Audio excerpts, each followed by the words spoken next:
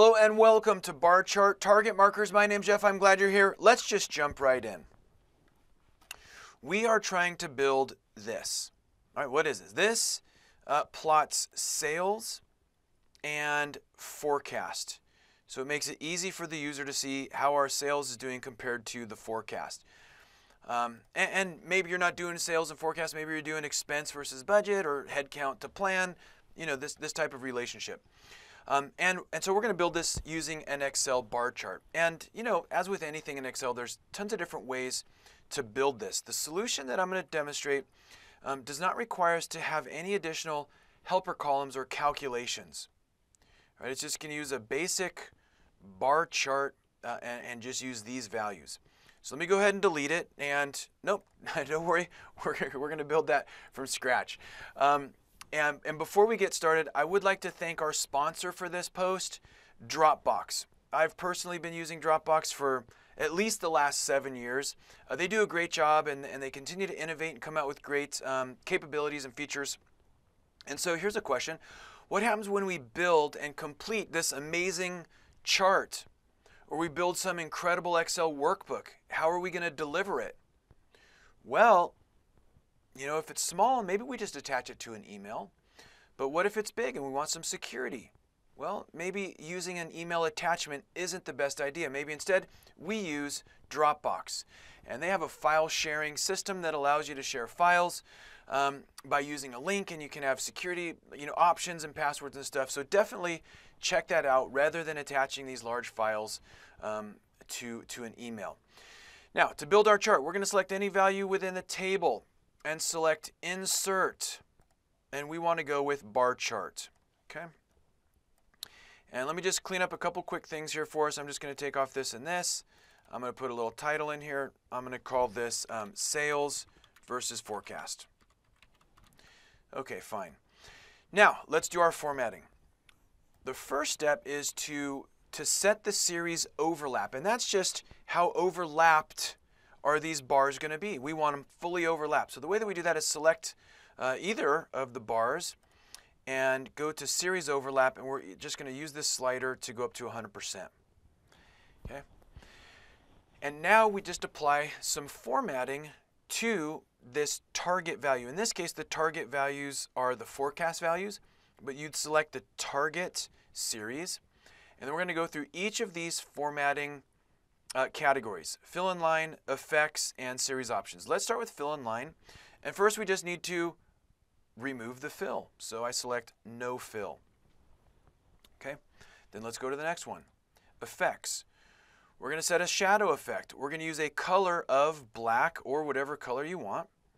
Transparency 0, size 100%, blur 0, angle 0, distance I'm going to go with 2. Okay.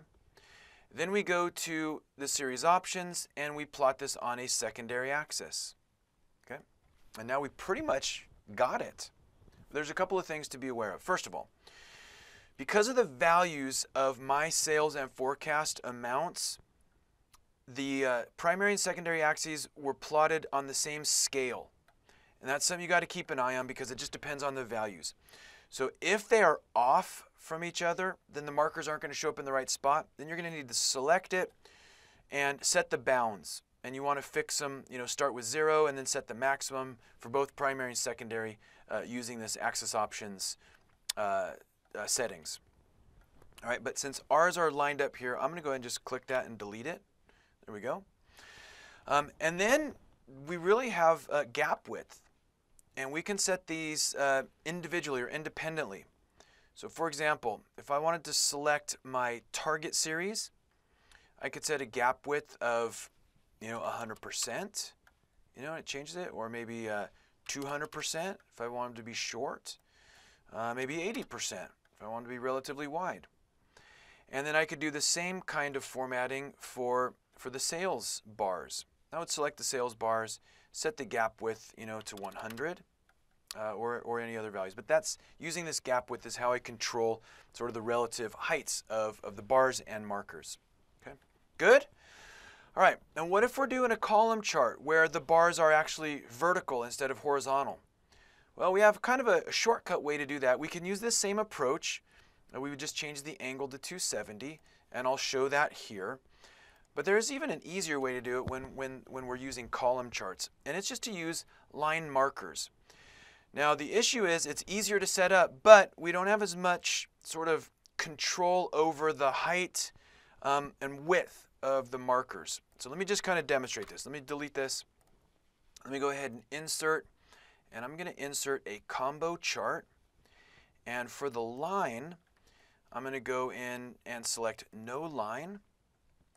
For the marker, I'm going to select marker options, built in, and I'm going to pick this. You can actually pick any of these, but I'm going to pick this one. And then we just set the size. Okay, so we can pick whatever kind of size we're after. That's fine. And then we can, you know, define the fill color, fine, uh, no border, fine, and then we got it. Now these marker sizes are set, and so they don't sort of uh, adapt very well when we're changing kind of the dimensions. For example, see they're, they're fixed. If we go way out here, you know, see they're fixed. Um, but that's a pretty easy way to set it up. Um, but if you want more control over that or if you want them to be dynamic, let's go with our shadow approach. Let me go ahead and delete this, select and insert. We're going to go with a column chart. And let me go ahead and just remove this and this. I'll just take off this for now. And now let's go ahead and set our series overlap. So we select either of these bars, we go to series options, series overlap, and 100.